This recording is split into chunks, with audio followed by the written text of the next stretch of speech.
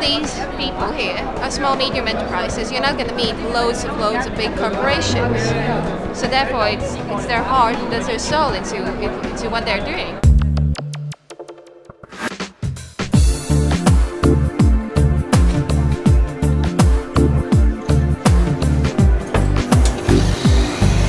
Det her, det er, øh, det er til min centurdrik, den her.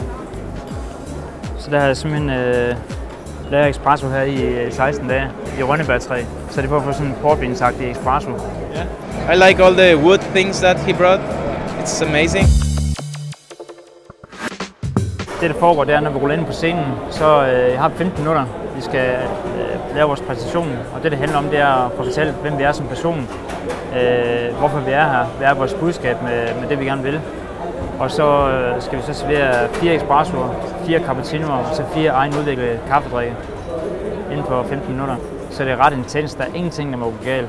Så det er også derfor, jeg, det er vigtigt, at øh, jeg har sådan en som Signe til at, til at back mig op og organisere alle mine ting. Her kl. kl. 1.15, så har vi øh. Der har vi en time til at skyde espressoen ind, så den, den er kalibreret lige til den ekstraktion, som vi gerne vil have.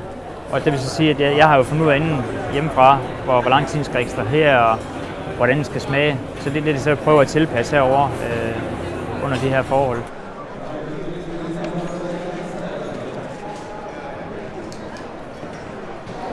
Den har kakao, den har... Den er god, den der. Meget sød. Ja, den er ikke god. Meget sød. Ja. De andre 52 nationer, de vælger at bruge en dansk mælk. De er jo misundelige over, at vi kan komme med den friske mælk, og vi har det udvalg af, af, af mælketyper. Og det var faktisk en af grunden til, at jeg også begyndte at samarbejde med Arle, hvor jeg sagde til mig, at jeg er overhovedet klar over, hvor fantastisk mælk vi har her i Danmark. Den er meget, øh, det er lidt ligesom, når jeg snakker er meget øh, varm kakao, flødeskumsagtigt. Ja. Det er helt vildt, at du kan få den mælk så cremet.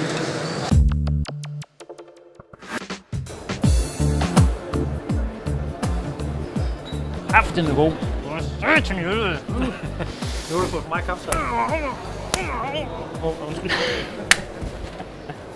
You stay away.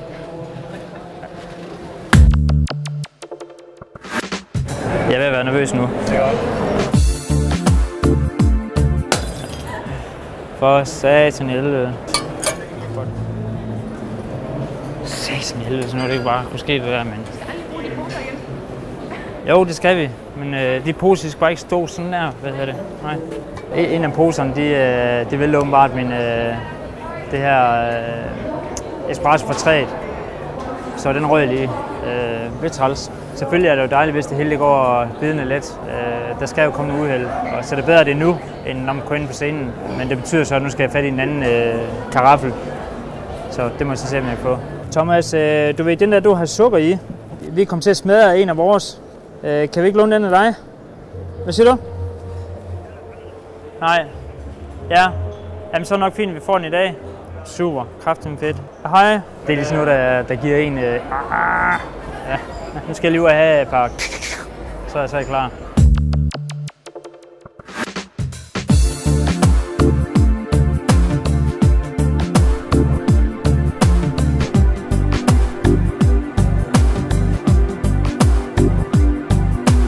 The next competitor is from uh, Denmark. It's uh, Søren Stiller Markusen. Give him a big hand.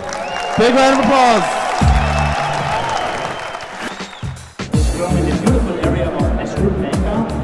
Øh, Jeg ved ikke rigtig, om Søren er en guru inden for det her, altså, men der er store forventninger til ham, og jeg kan sådan høre, nu kender folk jo ikke mig, men de sidder og, og taler om ham bag, også bag mig, ikke også? Så det er jo bare, øh, og, og det er positivt. The Danish guy, that guy's nothing but trouble. Oh man, no, no. Thorin's great. I mean, there wasn't a barista that didn't start shaking in their boots when they saw that he jumped in the competition. You know, he's got a huge reputation for being a very precise, very skillful barista, and he knows his coffee inside and out. So. Men jeg synes, det gik godt. Jeg var lidt bagud i tiden til allersidst, så jeg måtte korte to linjer i min, øh, i min, øh, i min tale. Hvis vi går videre i morgen, så er delen bygden klar. I have in my hand the running order of the top 12 competitors. Competitor from Denmark.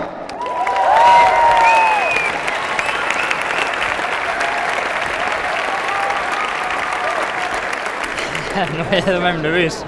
nu skal du bare have fuldstændig, øh, ja, fantastisk.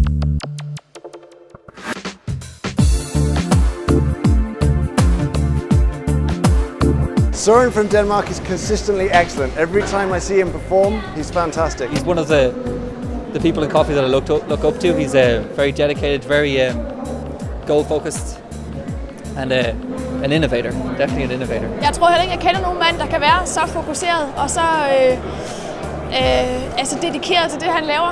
Det, det er helt ufatteligt. Sauces made out of Gonzalo and Danish. The first week,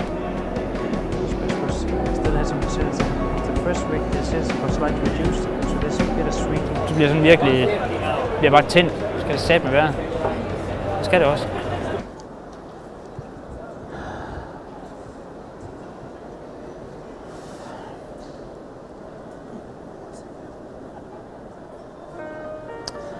Good afternoon, judges. My name is Søren Stille Markusen.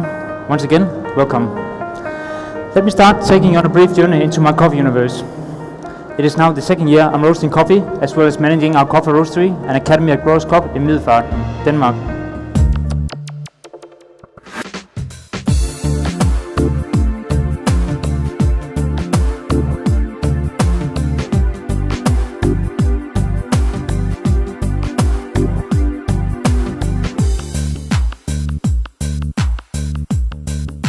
Thank you very much for being here today. I'm finished.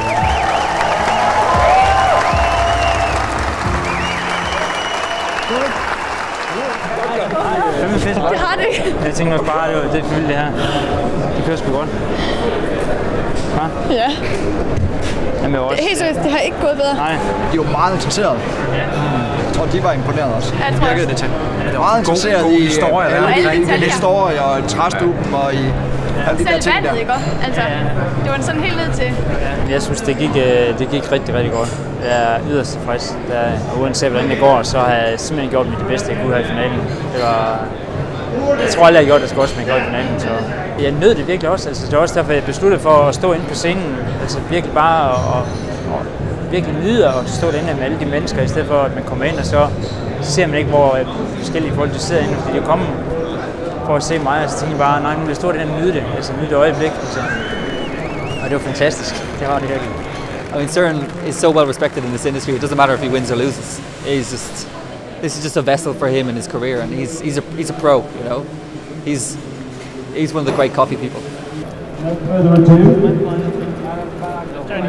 place, Greece.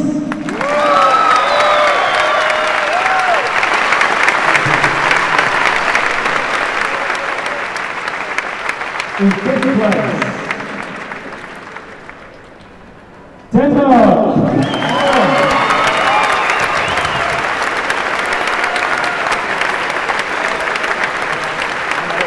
World Race Champion from the USA, Mark Miller.